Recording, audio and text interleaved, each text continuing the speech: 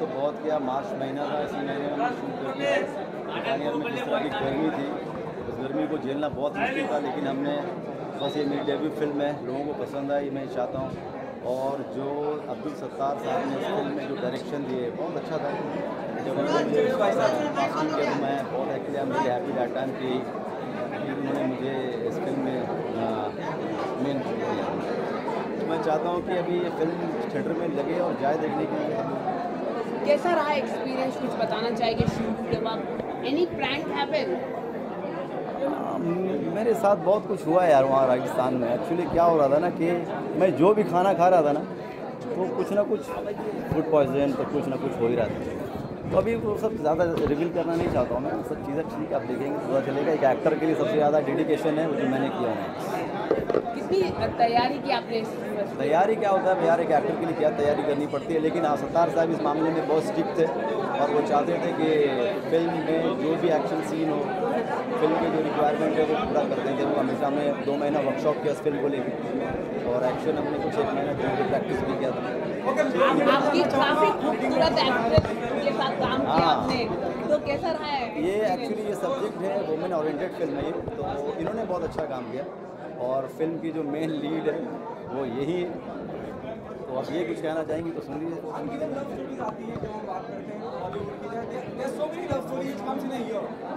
है हैं? अ how different it would be और जब टाइटल की हम बात करते हैं फैसला एक्शन की फ़िल्म होता है ना कि लव मूवी और मूवी वुमेन ओरिएंटेड है और अभी जब ये मूवी आएगी तभी आप सबको पता चलेगा कि ये मूवी कैसी है और बस मैं यही कहना चाहूँगी कि हमारी मूवी को दर्शकों का बहुत सारा प्यार चाहिए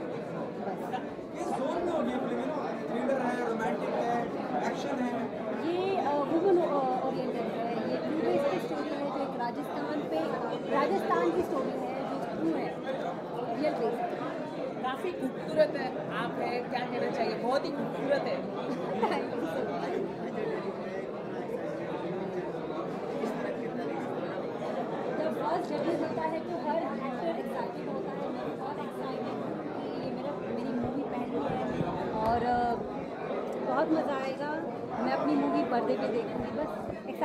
है? आपका किरदार आपका किरदार के बारे में जानना सर इस, इस बार का जो नंदू है एक फ़िल्म देखे होगे आपने?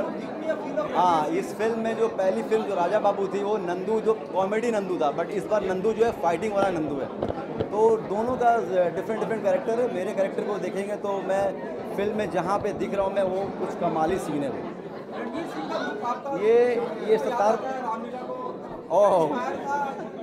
नहीं नहीं, मैं मैं किसी को कॉपी नहीं करता हूँ, बस मेरे डायरेक्टर ने बोला, मुझे ये लुक चाहिए राजस्थानी बेस की फ़िल्म है तो मुझे राजस्थानी लुक चाहिए। तो मैं अभी तक मेंटेन कर रहा हूँ इस फ़िल्म लुक को, क्योंकि अभी प्रमोशन के लिए जाना है। अब रणवीर सिंह लोग कह रहे हैं तो अच्छी बात है। ये फ़िल्म एक्चुअली जो आज के डेट में इतने सारे घटने हो रहे हैं, अभी आठ साल की बच्ची का रेप कर दिया गया है। और राजस्थान में जो औरतों को बहुत लोग जूती समझते हैं पैरों को। जो मर्द वहाँ पे पाँच शादियाँ भी कर सकते हैं दस शादियाँ भी करते हैं। तो वो वही बेस की कहानी है जो लोग इसको देख करके थोड़ा तो अपने दिल में सोचेंगे यार कि औरत एक्चुअली हमारे साथ देने में जाए तो बहुत बड़ी बात होती है। लेकिन अगर औरत अ, क्या बोलते काली का रूप धारण कर ले तो बहुत फिर कुछ भी हो सकता है। ऐसे भी आपने कहा यू कि राजस्थान में लोग औरत को पैर की जूती अभी आपने जी। आपको लगता समाज इस बात पे नहीं. यही नंदू यही तो आवाज़ उठा रहा है इस फ़िल्म में कि कभी भी औरत को जूती मत समझो बस। तो हमने ये मैसेज दिया है। आप देखेंगे। आप क्या कहना चाहेंगे? जो पूरा करंट सिनेरियो हिंदुस्तान में जो हो रहा है बटुआ की बात ले लें उन्नाव की बात ले लें मैं यही कहना चाहूँगी कि लोग कहते हैं कि हिंदू है मुस्लिम है सिख है ईसाई है लेकिन सबको पहले ये देखना चाहिए कि वो एक महिला है एक लड़की है एक वुमेन है। तो आप उसके प्रति उस हिसाब से आप देखें कि वो एक लड़की है। वो ना हिंदू है, ना मुस्लिम है, ना सिख है, ना ईसाई है। वो एक लड़की है, वो ह्यूमन है। वो कोई नोचने, काटने, पीटने या फिर खेलने की चीज़ नहीं है। वो कोई खिलौना नहीं है। लड़कियाँ खिलौना नहीं है।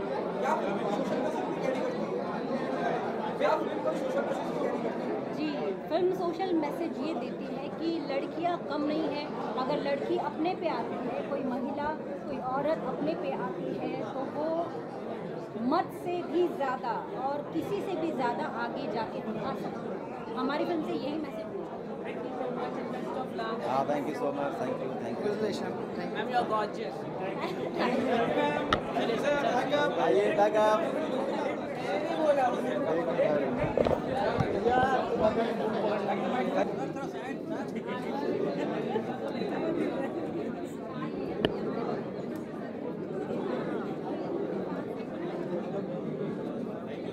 टाका देखो सरदार भाई से जो भी क्वेश्चन करेगा उसके आंसर मैं दूँगा। फ़िल्म के बारे में पूछिए कि रिलीज़ के बारे में पूछिए किसके बारे में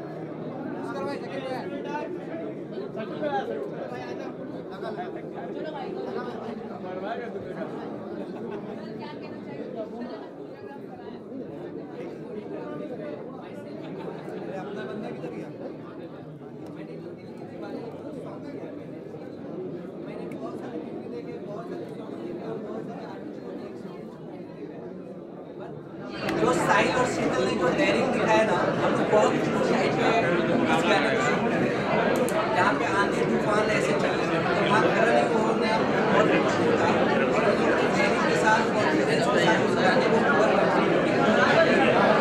हाँ राजस्थान तो वहाँ पे अगर बैलेंस थोड़ा सा कम डाउन होता तो ये लोग पीछे चले जाते थे ना तो वो जो डेयरिंग दिखाया ना अच्छे अच्छे डेयरिंग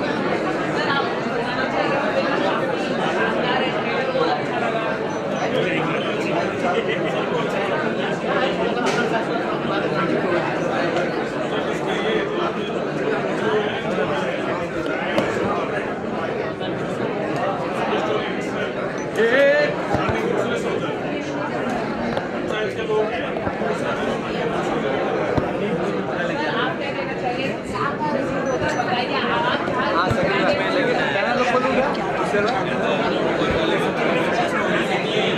आप पंचायत के ऊपर है आप पंचायत पीछे थोड़ा पीछे ना पीछे फ्रेम में आ रहा है इस हिसाब से अभी ना मेरा एक सूरज को देना औसम वाला देना सूरज को देना एक औसम वाला काफ़ी पुराने डायरेक्टर हैं काफ़ी राम पहले भी बनाए हैं अरे एक औसम विश्वास है इनका हमारे ऊपर और काफ़ी अच्छी रिलीज़ चलेगी सर आप नए लोगों को मौका देंगे नए फ़िल्म को मौका देंगे इसको ही मौका दो एक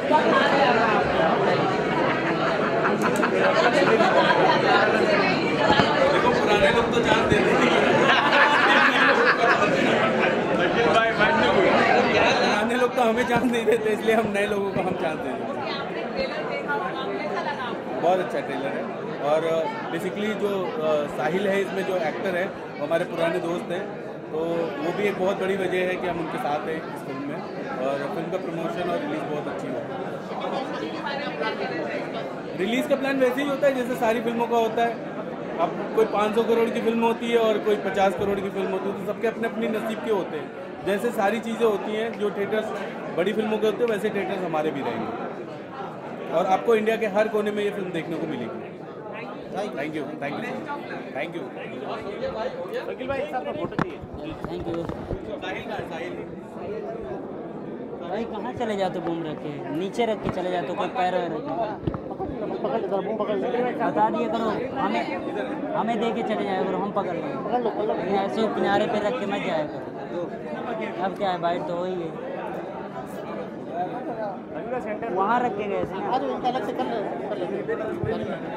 हाँ।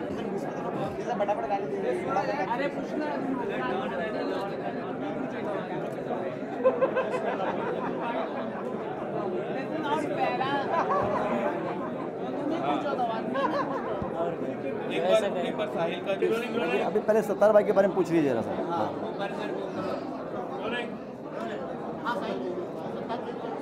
अरे सत्तार साहब के बारे में क्या कहना भाई? जब उन्होंने मुझे कास्ट किया था तो मैं सोच भी नहीं सकता था कि मुझे फैसला में मुझे काम मिलेगा।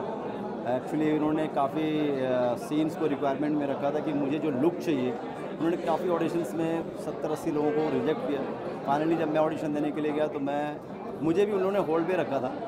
फिर फाइनली एक दिन मुझे कॉल आया कि you are selected I was so happy कि चलो ठीक है सत्तार मैंने तो इन्होंने क्या पाँच साल से ज़्यादा वर्क किया है स्टोरी पे? इन्होंने फ़िल्म को बहुत चीज़ों को समझा इन्होंने। और actually this is a true love story और ये जो राजस्थान में जो घटना हुई थी ना, उन्होंने एक एक स्टोरी एक एक लाइन जो है अपने हाथ से लिखे उन्होंने स्टोरी तो जब डायरेक्शन के टाइम में हम कुछ एक्स्ट्रा करना चाहते थे तो ये बोलते थे कि नहीं भाई, जो मैंने किया है, बस वही कर। तो हम बहुत बंद के काम किए इसमें। अब देखो पब्लिक को पसंद आए। मैं सत्तार साहब के लिए कहना चाहता हूँ। सत्तार साहब। नहीं, आप लोगों ने बहुत अच्छा काम किया। सहयोग किया। शीतल और साहिल ने बहुत सहयोग किया हमारा। और पूरी यूनिट ने किया। और स्पेशली सारे फाइट मास्टर कैमरामैन सब सबको मैं थैंक्स बोलना चाहता हूँ कैमरा बहुत अपने फाइट बहुत मेहनत किया है। और हमारे कोरियोग्राफर है और सारी टीम ने मिलकर बहुत सारी टीम का बहुत सपोर्ट था। सर ने बहुत बहुत ही मेहनत की है इस फ़िल्म के लिए। ये ना सो के ना जाग के मतलब दिन रात लगे थे इस फ़िल्म में। हम बहुत मार्च में हम गए थे शूटिंग कर इतनी गर्मी थी वहाँ पे इतनी गर्मी थी। कि गर्मी में शूटिंग करना वो भी रेगिस्तान में। तो यही सोच के इन्होंने नेक्स्ट फ़िल्म जो रेगिस्तान रख दिया अभी इनकी जो नेक्स्ट फ़िल्म आने वाली है वो रेगिस्तान है।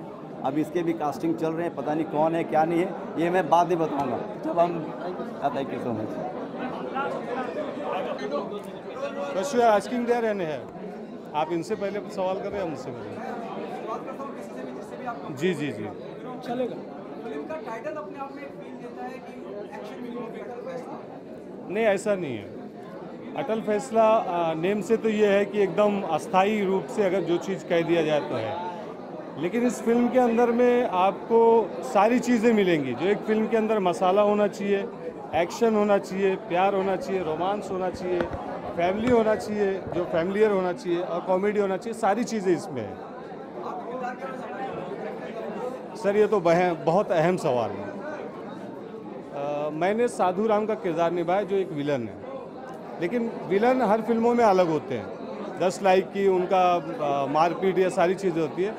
लेकिन मैंने इसमें अलग तरीके के किरदार निभाए हैं, जिसके फैमिली के साथ भी है, रिलेशन, और एक अपनी प्रतिष्ठा, मान सम्मान के लिए वो कुर्बान हो जाता है।